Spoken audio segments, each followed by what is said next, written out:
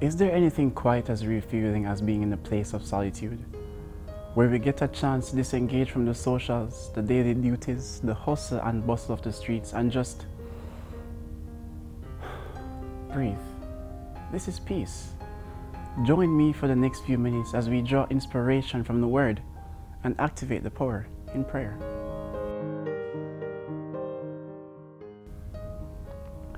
How far is your hiding place? When you feel unrest in your heart, where do you run first? Who do you consult? When I leave here, I head back into my worries, back into my fears. I leave from this peaceful place where I feel relieved from all anxiety and return to the world stained with the stint of sin. But then, even here, there is no hiding. Even here, as peaceful as it seems, is not perfectly peaceful. Because Although around me there is peace, within there is a whirlwind. So, with what's happening on the outside, compounded by what's happening on the inside, how can I know perfect peace? Isaiah gives us the answer. He says, You keep him in perfect peace, whose mind is stayed on you, because he trusts in you. Trust in the Lord forever, for the Lord God is an everlasting rock. I just love Isaiah's message here.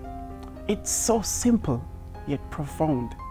He says, For the Lord God is an everlasting rock. This teaches me a few things.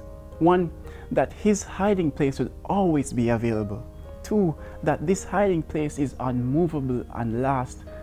Since this hiding place is with God, I don't have to travel any place remote because he is with me always. In establishing this rock, Isaiah also shares with us the secret to perfect peace. When he says, You keep him in perfect peace, whose mind is stayed on you. It couldn't be clearer than that. Perfect peace is only accessible to those who take Christ at his word and surrender their souls to his keeping as well as their lives to his ordering.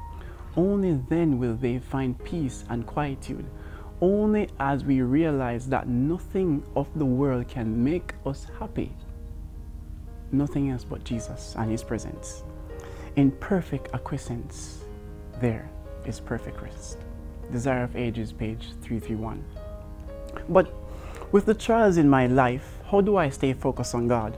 When the world is in limbo because of the shadow cast by COVID, how can I keep Him only in view? It's very simple. Trust Him why not trust God again? Put your trust in Jesus, our everlasting rock, brethren. This trust must be solid. It cannot be based on how we feel in a particular moment or where we are.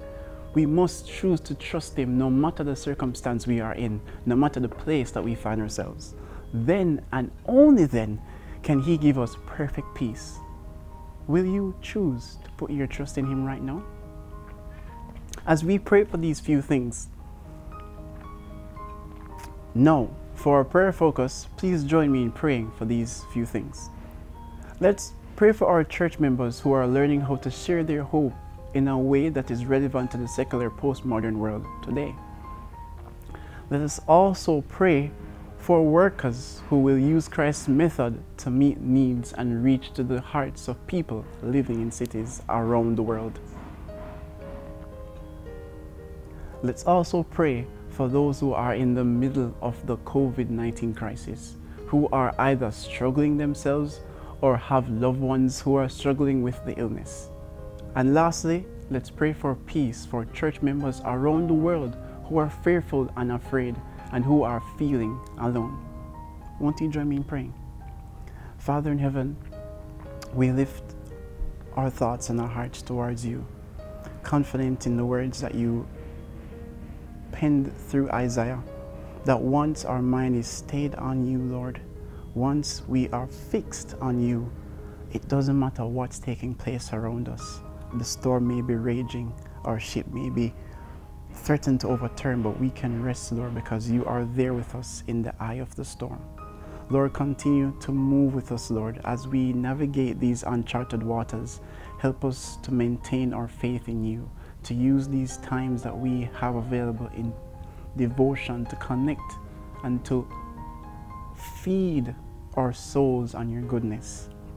Then and only then, Lord, can we know and experience the perfect peace that lies in knowing that we have a friend in Jesus and our balm in Gilead.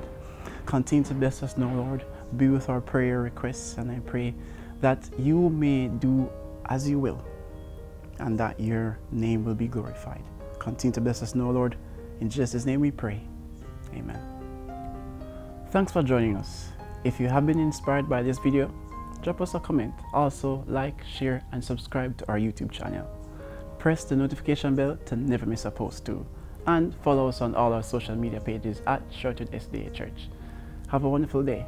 God bless you and be a blessing.